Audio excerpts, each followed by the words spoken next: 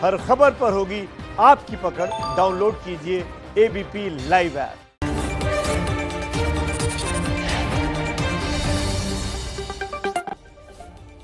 नमस्कार master stroke में आप सभी का बहुत बहुत स्वागत है। आपके साथ हूँ मैं रोबिका लियाकत कहते हैं खादी और खाकी जिसके साथ हो जाए, उसका कोई कुछ नहीं बिगाड़ सकता। ये सच एक बार फिर सामने आ गया है। यूपी के हिस्ट्री शीटर विकास दुबे के केस में जितना बड़ा अपराधी वो खुद है, उतने ही जिम्मेदार वो नेता और पुलिस वाले हैं जो इतने सालों से उसे बचाते रहे। लेकिन उम्मीद है कि अब खाकी और खादी का वो नेक्सस जल्द बेनकाब होगा। इस मामले को लेकर मुख्यमंत्री योगी आदित्यनाथ ने आज एक बड़ी बैठक की। बैठक में DGP additional chief secretary home ADG law and order सब शामिल हुए। विकास दुबे को पकड़ने के लिए मुख्यालय से अधिकारी कानपुर भेजे जाएँगे और वो अधिकारी तब तक मुख्यालय नहीं लौटेंगे जब तक विकास दुबे पकड़ा नहीं जाता। अब तक अलग अलग पार्टी के नेताओं के साथ विकास दुबे की बहुत तस्वीरें सामने आ चुकी है, लेकिन आज हम आपको विकास दुबे का वो इंटरव्यू दिखाएँगे जिसमें वो खुद अपने राजनीतिक आका का नाम ले रहा है। वो नेताओं का भी नाम ले रहा है जो हमेशा उसे पुलिस के चंगुल से बचाते रहे। और उसका यही राजनीतिक कनेक्शन आज भी उसकी मदद कर रहा है। वरना क्या वजह है कि जिसके पीछे पूरी यूपी की पुलिस पड़ी हो, वो आठ पुलिस वालों को मारने के 90 घंटे बाद भी फरार है? कभी खबर आती है कि वो नेपाल भाग गया तो कभी उसके चंबल में छिपे होने की बात सामने आती है, लेकिन वो कहाँ है? किसी को नहीं पता। विकास दुबे के क्रिमिनल रिकॉर्ड और पॉलिटिकल कनेक्शन की कड़ियाँ जोड़ती हुई मास्टर स्ट्रोक की कवर स्टोरी अब आपके सामने।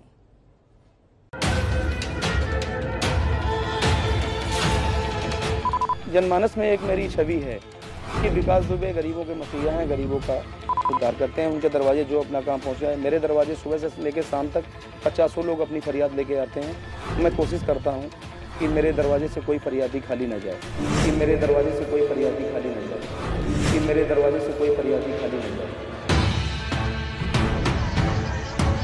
दरवाजे से कोई फरियादी खाली न जाए और दरवाजे के अंदर कोई पुलिस वाला घुस न पाए। यह है खुद को गरीबों का मसीहा बताने वाले हिस्ट्री शीटर विकास दुबे का फलसफा। फिल्मी अंदाज में पहले छोटा गैंग बनाया, फिर बड़ा बदमाश बना। डॉनगिरी चलने लगी तो नेतागिरी का चस्का लगा, और जब नेताओं का साथ मिलने लगा तो सारी दुनिया ठाए ठाए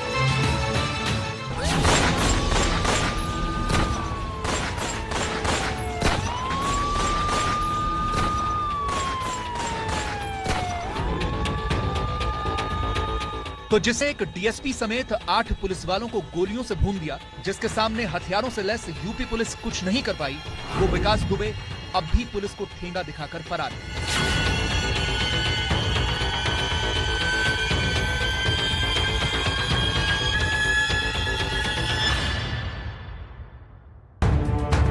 पिछले 90 घंटे से यूपी पुलिस की 40 टीमें विकास दुबे की तलाश में भटक रही हैं। लखीमपुर खीरी से लेकर बहराइच तक के भारत नेपाल बॉर्डर पर विकास दुबे के पोस्टर लगाए जा रहे हैं। हर गाड़ी की तलाशी ली जा रही है।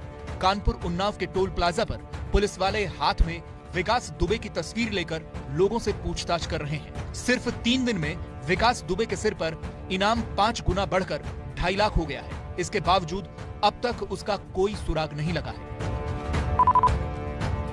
तो फिर सबसे बड़ा सवाल यही है कि क्या विकास दुबे खुद पुलिस को चकमा दे रहा है या फिर कोई है जो विकास दुबे को बचा रहा है। यह सवाल इसलिए अहम है क्योंकि बिना किसी की सरपरस्ती के एक गैंगस्टर में इतनी हिम्मत नहीं आ सकती कि वो आठ वर्दी वालों को मौत के घाट उतार दे और अगर विकास दुबे में ये हिम्मत आई तो ये रातों रात नहीं हुआ। इसका इतिहास पुराना है। मेरे हाई कमान से मुझे निर्देश भी है कि आप जितनी जल्दी स्वस्थ हो जाएँ, आपको इलेक्शन लड़ना है। आप जिस समय स्वस्थ हो जाएँ, हाई कमान रिपोर्ट करिए। आपको क्षेत्र दिया जाता है, जिस क्षेत्र के लिए आपको कहा जाता है, उस क्षेत्र में जाके आप चुनाव की तैयारी ये बात चौदह साल पुरानी है। उस वक्त क्राइम की दुनिया में विकास दुबे अपनी पहचान बना चुका था। उस पर कई हत्याओं के आरोप लग चुके थे।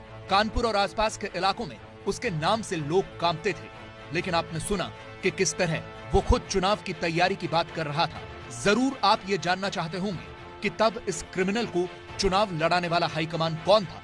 तो अब उसका पूरा बयान सुनिए मेरे हाई कमान से मुझे निर्देश भी है कि आप जितनी जल्दी स्वस्थ हो जाएँ आपको इलेक्शन लड़ना है। आप जिस समय स्वस्थ हो जाएँ हाई कमान रिपोर्ट करिए। आपको क्षेत्र दिया जाता है जिस क्षेत्र के लिए आपको कहा जाता है उस क्षेत्र में जाके आप चुनाव की तैयारी कीजिए। कौन से क्षेत्र? अब ये बहन जी के ऊपर डिपेंड है कि बहन जी किस क्षेत्र से मुझे चुनाव लड़ाती है। इस हँसी को देखिए और समझ जाइए कि विकास दुबे जैसे लोग कैसे और क्यों पूरे सिस्टम को अपने ठेंगे पर रखते हैं। 2006 में बहन जी, यानी मायावती की पार्टी से चुनाव लड़ने की तैयारी करने का दावा करने वाला विकास दुबे 2001 में बीजेपी नेता संतोष शुक्ला की हत्या से चर्चा में आ चुका था। आरोप है कि उसने थाने में घुसकर संतोष शुक्ला को मारा, लेकिन किसी ने भी विकास के खिलाफ गवाही नहीं दी और वो छूट गया। विकास दुबे का राजनीतिक कनेक्शन 90 के दशक में बीएसपी नेता हरिकिशन श्रीवास्तव के साथ शुरू हुआ। राजनीति में लाने का श्रेय मुझे स्वर्गीय हरिकिशन श्रीवास्तव जी का है जो मेरे राजनीतिक गुरु थे। और उत्तर प्रदेश के कई बार मिनिस्टर रहे और उत्तर प्रदेश विधानसभा के अध्यक्ष भी रहे वो। उन्होंने मुझे राजनीति में लाने का प्रयास किया और उन्हीं के प्रयास से मैं राजनीति में मैं आया। और जिस दिन से मैं राजनीति में आया तो लोगों को मेरे प्रभाव से और मेरी लोकप्रियता से जलसी होने लगी। उस वक्त उसका एक बुलेट गैंग हुआ करता था। क्योंकि वो और उसके साथी राइफल लेकर बुलेट पर चला करते थे। उनकी ये छवि और नाम के आगे दुबे लगा होना कई नेताओं को अपने फ़ायदे में दिखा। विकास दुबे उस इलाके के ब्राह्मणों को उनकी ज़रूरतें पूरी करके उनका लीडर हो गया होगा और इस नाते जो लोकसभा का विधानसभा का चुनाव लड़ता होगा किसी भी पॉलिटिकल पार्टी का उसकी वो ज़रूरत बन गया होगा। कानपुर का ऐसा कोई बड़ा नेता नहीं जिसके साथ विकास दुबे का कोई कनेक्शन न रहा हो। किसी के साथ उसकी दोस्ती थी तो किसी के साथ उसकी दुश्मनी। इलाके के गैर ब्राह्मण नेताओं ने विकास दुबे को पाला पोसा और बदले में उसने आसपास के इलाके के ब्राह्मण वोटरों का जुगाड़ किया और इसी के दम पर वो आगे बढ़ता रहा। ब्राह्मण वोटों पर पकड़ और बाहुबली छवि के साथ विकास दुबे ने राजनीति का शॉर्टकट सीख लिया था। जिस पार्टी की सरकार हो, उसी का झंडा बुलंद करना है। इसीलिए वो कभी बीएसपी कभी एसपी तो कभी बीजेपी के नेताओं के साथ नज़र आने लगा। ये तमाम तस्वीरें उसके राजनीतिक रसूख को मज़बूत करती गईं। बड़े लीडर्स इन्हें भाव नहीं देते पर लोकल इलाके का जो लीडर है चाहे वो समाजवादी पार्टी का हो कांग्रेस का हो भाजपा का हो बसपा का हो निर्दलीय जो मजबूती से चुनाव लड़ना चाहता है ये सबके लिए विकास दुबे वोट बैंक है और उसके पास ज़्यादा बड़ा वोट है।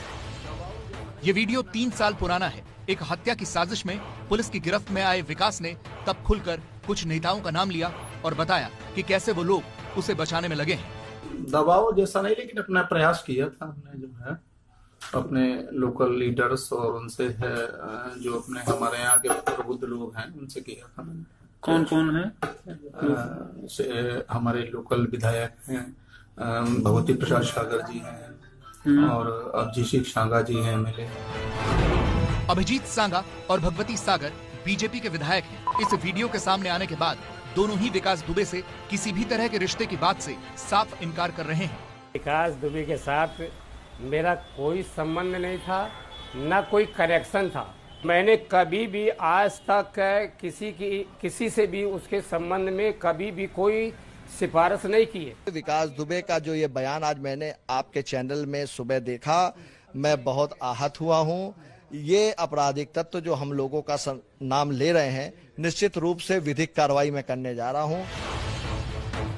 अब इन तस्वीरों को देखिए। इसी साल फरवरी में समाजवादी पार्टी के एक नेता रजय वाजपेयी के घर पर हुई बर्थडे पार्टी में विकास दुबे ने जमकर डांस किया। इस तस्वीर में उसके बगल में बीजेपी युवा मोर्चा के क्षेत्रीय अध्यक्ष विकास दुबे खड़े हैं और एक दूसरी तस्वीर में वो कॉमेडियन अन्नू अवस्थी के साथ बैठा हुआ दिख रहा है।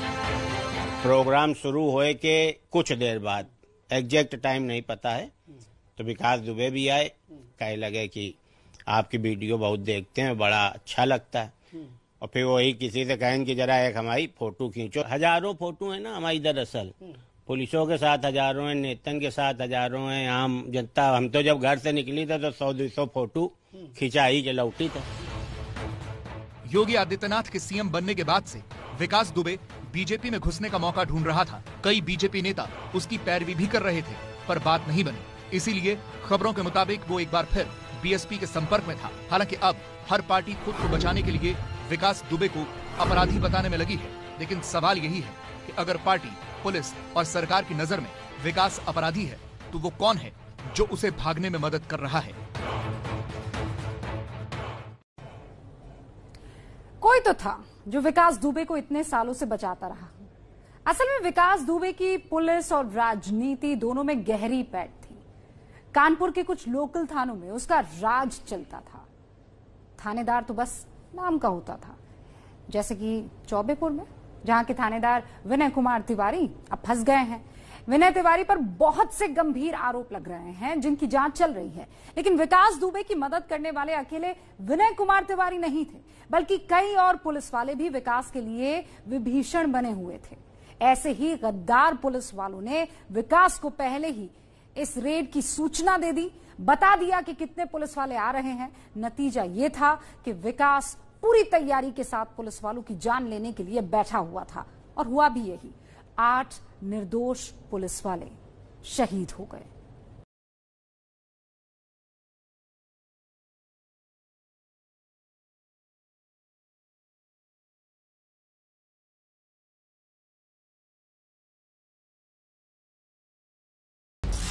हमारी जाँच में केवल थाना तक ही नहीं, बल्कि चौबेपुर थाने के और आसपास के थानों के, जो भी इस ऑपरेशन में लोग इन्वॉल्व थे जिनको जानकारी दी कि ऐसे ऐसे पुलिस जाने वाली है तो सभी को हमने जाँच के दायरे में रखा है और जल्दी ही हम ऐसे विभीषण को चिन्हित करेंगे। अब कहाँ कोई शक रह जाता है जब उत्तर प्रदेश पुलिस के इतने बड़े अधिकारी खुद कह रहे हों कि पुलिस डिपार्टमेंट में ही कोई विभीषण है जिसने विकास दुबे की मदद की थी। लेकिन विकास की मदद करने वाला कोई एक पुलिस वाला नहीं था, बल्कि कई थे। हमारी ये रिपोर्ट गौर से देखते जाइए और समझिए कि जब पुलिस और अपराध का गठजोड़ हो जाता है तो फिर अंजाम यही होता है। यह दयाशंकर अग्निहोत्री है। विकास दुबे का साथी या नौकर, कुछ भी कह लीजिए। यह समझ लीजिए कि विकास दुबे ने पुलिस वालों पर फायरिंग इसी दयाशंकर के नाम से ली गई बंदूक से की थी। दयाशंकर पुलिस की गिरफ्त में है और साफ़ साफ़ कह रहा है कि विकास को थाने से फ़ोन आया था कि पुलिस आने वाली है। लोगों को बुलाता था आमतौर पे?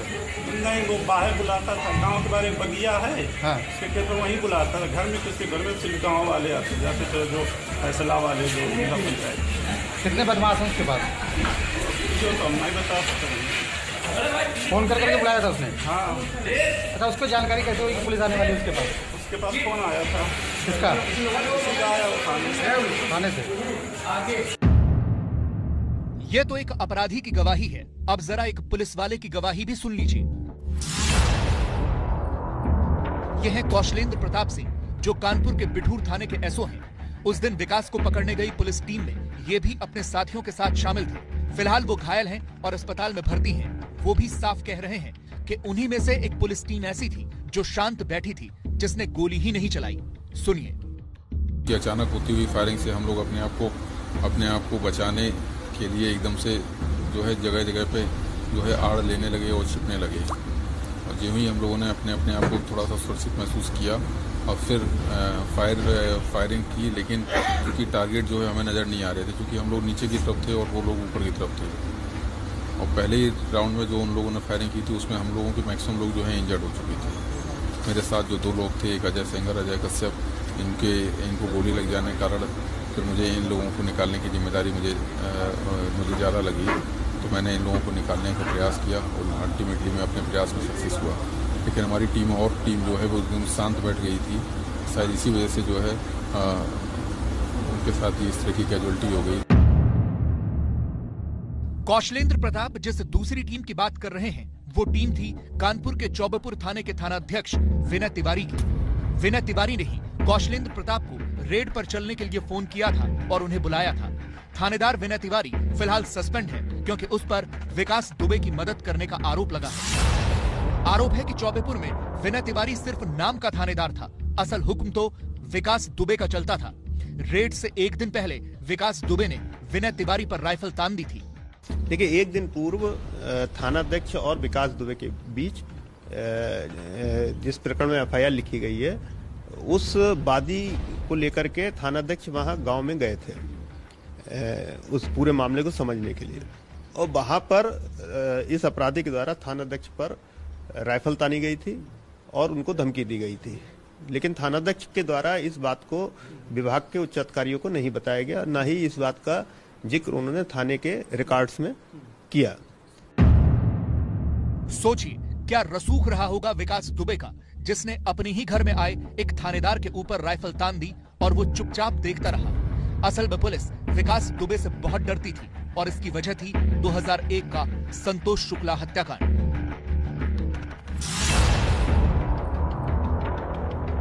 दीवार पर टंगी ये तस्वीर बीजेपी के नेता स्वर्गीय संतोष शुक्ला की है। बात है अक्टूबर 2001 की। यूपी में बीजेपी की सरकार थी, संतोष शुक्ला राज्य मंत्री थे, लेकिन विकास दुबे ने थाने के अंदर उनकी हत्या कर दी। और किसी पुलिस वाले की हिम्मत नहीं हुई उनके खिलाफ गवाही देने की। उस समय नगर पंचायत के चेयरमैन लल्लन वाजपेयी थे। लल्लन वाजपेयी के आवास पे जाके विकास दुबे ने अपने साथियों सहित हमला करने का प्रयास किया। लल्लन वाजपेयी का टेलीफोन भैया के पास आया और उन्होंने बताया कि भैया, ऐसी ऐसी घटना है और ये मुझे घेरे हुए है। तो भैया ने कहा कि तुम अपने घर में रहो, मैं आ रहा हूँ। भैया यहाँ से जो है आवाज़ से निकले और सीधे चौबेपुर थाने पहुँचे। विकास दुबे को ये सूचना मिली कि संतोष शुक्ला जी आ गए। तो वो पूरे ग्रुप के साथ वहाँ से भगा और सीधे थाने आया। जबकि थाने में 25 सिपाही, पाँच सब इंस्पेक्टर मौजूद थे। वो सीधे गया और भैया के ऊपर उसने हमला कर दिया गोलियों से और सात गोली लगी थी। सोचिए, इतने भारी भरकम पुलिस फोर्स के होते हुए विकास ने एक राज्य मंत्री को गोलियों से भून दिया। पुलिस वालों समेत कई सारे चश्मदीद थे। लेकिन किसी ने गवाही नहीं दी। समय वो केवल सिवली थाने का जो है हिस्ट्री सीटर हिस्ट्री सीटर भी नहीं था बदमाश था लेकिन जब भैया की हत्या कर दी तो वो गमले में लगा पौधा बटवृक्ष बन गया और मंत्री की हत्या के कारण विकास दुबे ने आर्थिक लालच जो भी करके उसने पुलिस जो गवाही थी उस सबको होस्टाइल कराया कि न्यायालय में भी उसने कुछ लेन देन किया था। संतोष शुक्ला के भाई मनोज शुक्ला जिन ललन वाजपेयी की बात कर रहे हैं उनसे भी हमने बात की। ललन वाजपेयी विकास दुबे को पिछले तीस सालों से जानते हैं। उन्होंने उसे छात्र से अपराधी और फिर अपराधी से डॉन बनते हुए देखा है। बहुत स्वजनों के भी साथ मिल करके इसने पूर्व में भी अपराध किए, बहुत कम आयु में। तो इसका, इसके मन में, इसके डीएनए में अपराध प्रवेश कर गया वहीं से। और इसने जब झुन्ना बाबा की हत्या कर दी उसके बाद तो थोड़ा सा और चर्चा में आ गया। झुन्ना बाबा के बाद जब संतोष शुक्ला की इसने हत्या कर दी, तब ये तो बिल्कुल अपराध अपराध जगत में डॉन बन गया। सारे लोग इससे डरने लगे और इसके बाद इसके मन में राजनीति घुसी। विकास के इतिहास से एक बार फिर वर्तमान में आते हैं। यह आशंका है कि पुलिस पर हमले के बाद विकास उस दिन अपने घर के पीछे इन्हीं खेतों से भागा होगा। लेकिन अब ये पता चला है कि विकास भाग नहीं सकता है। उसकी दोनों टांगों में रॉड लगी है। जिसकी वजह से वो धीरे धीरे चलता है। है उनकी टांगे दोनों चुटाई रहा तो पैदल है दोनों पैरन में राडे पड़ी हैं। एक्सीडेंट गया तो वहाँ काले सुगल बहुत बरस तब तो ये राडे पड़ी हैं दोनों पानी में तो दौड़ नहीं पाते धीरे धीरे चलते इसका मतलब विकास को किसी ने फरार करवाया उसने अपने भागने का इंतज़ाम भी पहले ही कर लिया था। देखिए, विकास दुबे इकलौता नहीं है, जिसकी पैठ, पुलिस और राजनीति दोनों में हो, और वो भी पूरी ठसक के साथ। राजनीति में अपराध और अपराध में राजनीति। ये वो कॉकटेल है जिसका कोई तोड़ नहीं निकाल पाया है। शुरुआत एक इंटर्न के तौर पर होती है। सफ़र मार पिटाई दबंगई, चोरी चकारी मर्डर से होते हुए ठेके, पट्टे प्रॉपर्टी डीलिंग कालाबाजारी रेत माफिया तक पहुँचता है। इलाके में कायम किया खौफ ऐसा बदनाम करता है गुंडे को कि उसी इलाके का बड़ा नेता सबसे नज़दीक उसके हो जाता है। यानी नेता का पावर और गुंडे का खौफ। और फिर कुछ ही सालों में अपराध की इंटर्नशिप से राजनीति का परमानेंट एम्प्लॉय और सीईओ गुंडे को बना देती है।